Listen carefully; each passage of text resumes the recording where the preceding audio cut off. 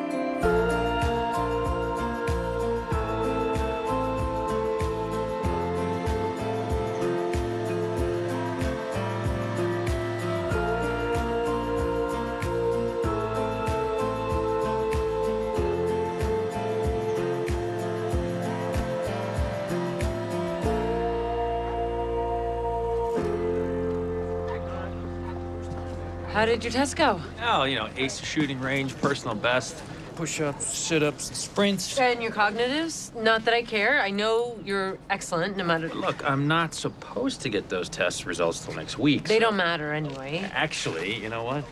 They do. Look at this. Sweets. Sweets was able to pull some strings and What, 97th percentile? that personal best. That is incredible. Don't act so surprised. I just, I meant I know, I know. All right, next year I'm gonna go for 99%. very ambitious. You turned me into a monster. I'll tell you what. Why don't we race around the park here, huh? What, in these boots? So you concede. Great, ah, that's good. Because you know what? I'm a little sore. I'm gonna wake up in the morning. I'm gonna feel like one big cramp. How about a glass of champagne to celebrate? Champagne, huh? Ooh, bubbles doubles. Watch how that pops. I knew you would do well, even though it's technically illegal for us to drink here. Oh, come on, lighten up, oh, will ya?